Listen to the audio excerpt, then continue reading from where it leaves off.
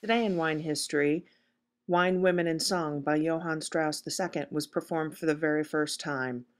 In 1659, Jan van Riebeeck, founder of Cape Town, produced the first known wine in South Africa. New Mexico's Middle Rio Grande Valley AVA was designated in 1988, and Spain's Mentrida DO was created in 1976.